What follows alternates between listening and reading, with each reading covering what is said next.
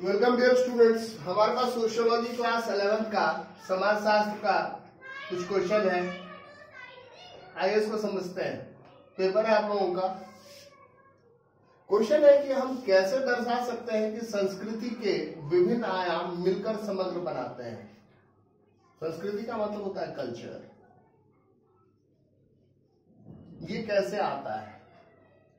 तो ड्रेस है लैंग्वेज है कस्टम है फेस्टिवल है फ़ूड हैबिट्स है, थोड़े से कॉमन एक्सपेक्टेशंस है। और ये सारा चीज़ टुगेदर मिलकर के कल्चर बनाता है और जो, जिसका कि एक हेरिटेज होता है, जिसको कि कैरी डाउन किया जाता है। और इसके जो विभिन्न पहलू है, वो सारे मिलकर के इसको बनाते हैं और फिर वो कैरी डाउन होता है। एक जनरेशन से दूसरे जनरेशन तक जाता है। तो संस्कृति के विभिन्न आयाम है। आयाम मतलब डायमेंशन ठीक है? यूनिट्स और हर यूनिट जो है, वो आपस में अंतर संबंधित है और अन्योनाश्रित है। अंत संबंधित मतलब इंटर रिलेटेड और अन्योनाश्रित इंटरडिपेंडेंट एक दूसरे पर डिपेंड भी करता है। मैंने यहाँ कहा ना ड्रेस है फ़ूड है लैंग्वेज है। ड्रेस इस पर डिपेंड करेगा कि कहाँ रह रहे हो। जहाँ रह रहे हो, उसी हिसाब से खाना भी खाओगे।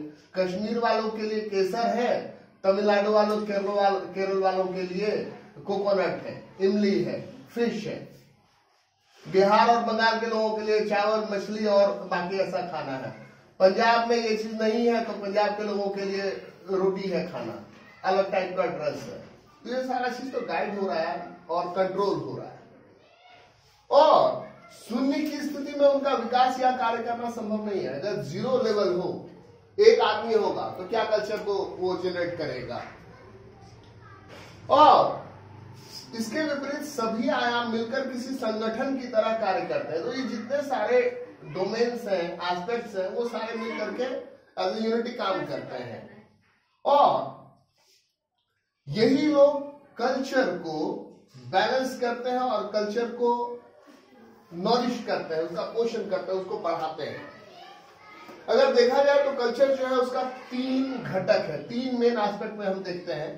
पहला है संज्ञानात्मक, जिसको बोला जाता है इंग्लिश में कॉग्नेटिव दूसरा है आदर्शात्मक, जिसको बोला जाता है नॉर्मेटिव और तीसरा है भौतिक, जिसको बोला जाता है मटेरियल अब अगर हम बात करें संज्ञानात्मक का, संज्ञान तो ज्ञान कहाँ से मिलेगा आपको? समझ से, और वो समझ कहाँ से आएगी? तो किताबों से, दस्तावेजों से। तो संज्ञानात्मक भाग का स्वरोकार समझ और जानकारी से समझ अंडरस्टैंडिंग जानकारी नॉलेज और इसके एग्ज़ाम्पल क्या है? बुक्स हर कल्चर का अपना बुक होता है, हर का अपना लिटरेचर होता है, हर का अपना गाना होता है, हर के अपने फॉर्क्लोर्स होते हैं। और हर कल्चर के अपने कुछ इंपॉर्टेंट डॉक्यूमेंट्स भी होते हैं। फिर जो मैंने कहा, आदर्शात्मक नॉर्मेटिव क्या चीज़ नॉर्मल है? तो उसमें क्या आ जाता है? उसमें आता है प्रथा, जो कस्टम्स है, परंपराएँ, लोक रीतियाँ। कस्टम्स ट्रेड्स लोग कैसे व्यवहार करेंगे वो चीज़? ये सारी जो चीज़ें हैं, ये आदर्शात्मक घटक है। उसमें जो अच्छा है, जिसको सोसाइटी अप्रूव करता है, उसको सोसाइटी फॉलो करता है, या सोसाइटी चाहता है कि कमिंग जनरेशन उसको फॉलो करे।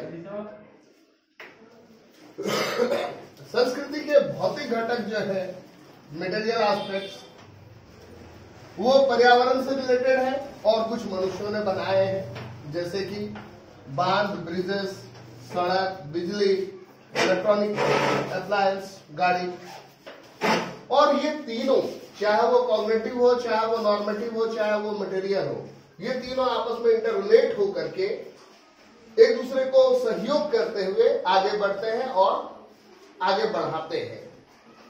उपरोक्त सभी घटक एक दूसरे के पूरक है। दीज आर कॉम्प्लीमेंट्स और समग्र रूप से कार्य करने के लिए एक दूसरे का सहयोग करते हैं। एक दूसरा क्वेश्चन है, आइए देखते हैं उसको।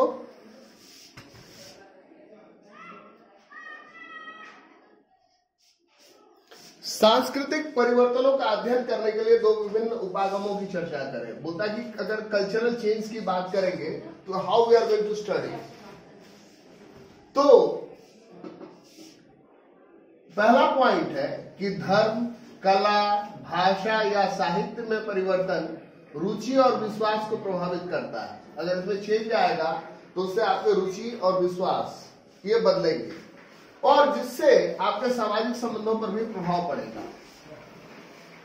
जो सांस्कृतिक परिवर्तन है, वो नए इन्वेंशन डिस्कवरीज और जो कल्चरल एस्पेक्ट्स हैं, उसे परिवर्तित होते हैं और उसमें परिवर्तन लाते भी हैं। सांस्कृतिक परिवर्तन का क्षेत्र विस्तृत है और यह सामाजिक परिवर्तन लाता है। जो कल्चरल चेंज होगा, वो सोशल चेंजेस को भी लेकर के आएगा।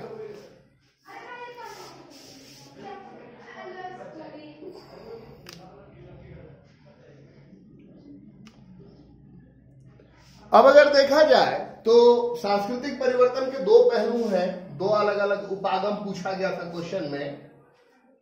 उपागम पहलू पहला है प्राकृतिक परिवर्तन और दूसरा है क्रांतिकारी परिवर्तन। प्राकृतिक मतलब नेचुरल नेचुरल चेंज क्या हुआ? कि कुछ ऐसा नेचर ने किया, जिससे बहुत कुछ एकाएक से बदल गया। और ये टोटल रेवोल्यूशन ला देता है। हड़प्पन सिविलाइजेशन था, गायब हो गया।